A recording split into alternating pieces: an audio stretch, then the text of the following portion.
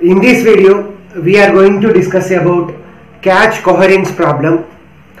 In a multiprocessor system, we can have multiple processes in order to improve the performance of a system.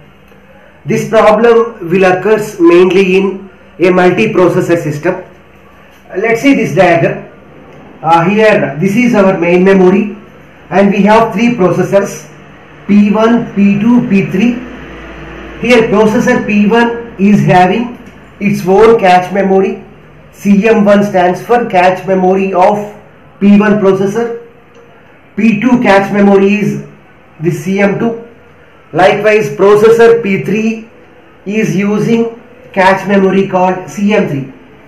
Let us assume that main memory in main memory we have a data element or a variable called x whose value is 10 we know that whenever a processor wants to access a variable or a program first it checks whether it is present in cache memory or not. Unfortunately here x is not available in cache memory 1 so p1 will reads that instruction from the main memory and loads that variable into the cache memory. So now processor p1 cache memory contains a variable called x whose value is 10. So likewise P2 and P3 also accessed X value and loaded them into cache memory. Okay. Uh, here let us assume that processor P1 performs uh, executes this instruction whose job is uh, incrementing X value by 1. So now let us assume that after incrementation X will become 11. X will become 11 whereas in processor P2 x value 10 in processor P3 x value 10 in main memory x value is 10 but that is modified in in processor P1 cache memory as 11 so the same variable value is different in main memory and other cache memories. This problem is called as cache coherence problem. Why? Because this problem occurred in cache memory so that's why this is called as cache coherence problem. So we can solve this problem by using four approaches. The first approach is write update, write through. Second approach is write update, write back. Third approach, write invalidate, write through. Fourth approach, write invalidate, write back. So first let us see about what is write update, what is write through, what is write invalidate and what is write back and after that uh, we will discuss these uh, four approaches. So let us see the first approach. So uh, first let's see about what is write update. Write update means if we update a value in cache memory then the same value should be updated in other caches also. So let's take this example. Here we have a, a variable called x whose value is 10 in cache memory 1, cache memory 2, cache memory 3 and X. Let us assume that processor P1 uh, performs an operation called incrementation. So now after incrementation X will become 11. So write update means if we update a value in cache memory then it should be updated in other caches also. In other caches also we have a variable called X. So in those caches also it should be updated as 11. So this is nothing but write update. This is nothing but write update. Now let's see about write through. Let's see about write through. So what is write through? Write through means if we update a value in cache then that value should be updated in main memory also. Let us assume that uh, here the main memory and all the caches contains a variable called x whose value is 11. So let us assume that uh, processor P2 performs an operation on X. Let us assume that it is nothing but decrementation operation. So now X has become 10. Write through means if we update a value in cache memory, then it should be updated in main memory also. So in main, in main memory now, X has to be updated to 10. So this is about what is write through. Now let's see about write back. Write back means if we update a value in cache if we update a value in cache, then it should not be updated in main memory. So when we have to update in main memory, if we perform, if we update, if we if we perform a replacement, we know what is replacement. Whenever the cache memory is full, then we have to replace uh, one of the value in the cache memory with the new uh, the new word from the main memory. So here when the uh, when the replacement should be done is uh, whenever the cache is full. So here write back means if we replace if we replace a value in the cache then only we have to update it in the main memory. Let us assume that this cache memory is completely full so that we have updated this value. Let us assume that here the operation is nothing but decrementation by 2. So 11 minus 2 means uh, 9. Okay. So now we have to update this in main memory as 9. So the major difference between write through and write back is very very simple. So write through means whenever we update a value in the cache then parallelly it should be updated in main memory also.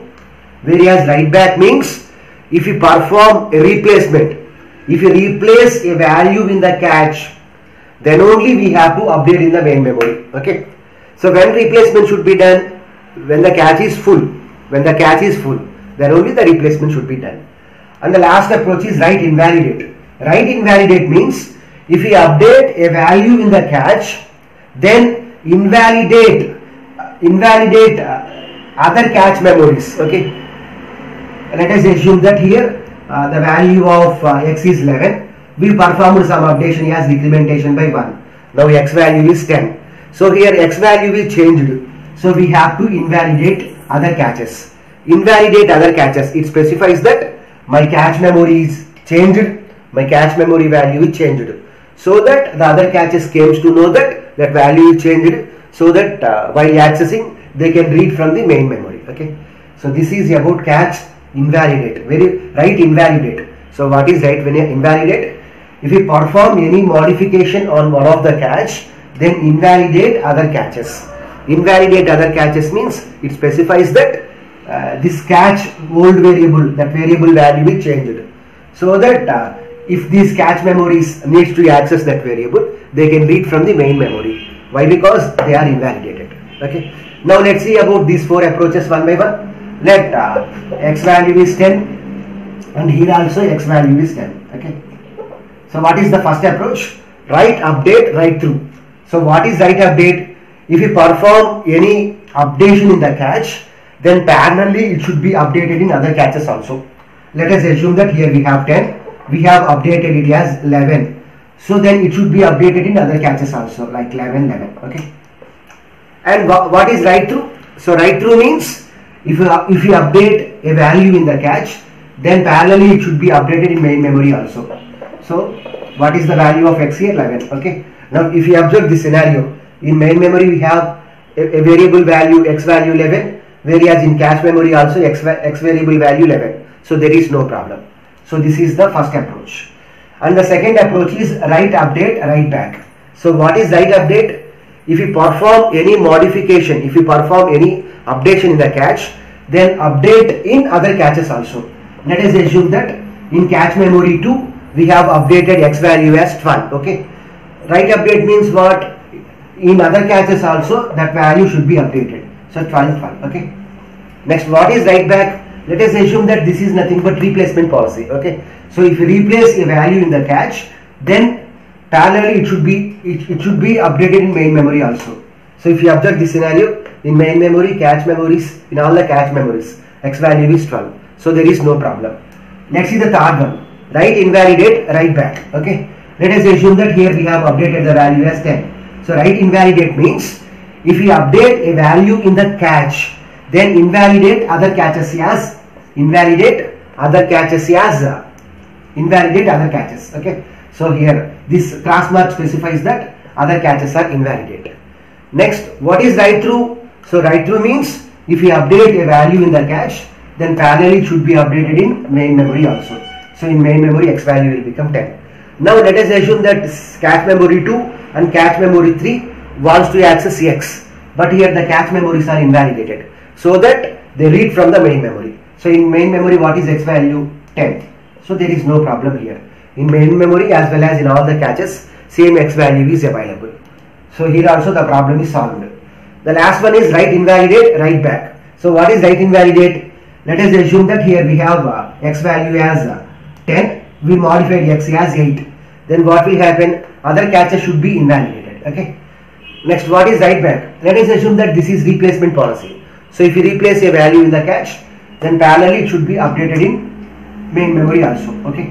So this 8 value is updated okay? Let us assume that these cache memories wants to access the uh, wants to access this variable x but these two caches are invalidated. So these two caches will read from the main memory. In main memory what is x value? 8 8 so in main memory and in, all the cache memories x value is 8 so in this way we can solve the cache coherence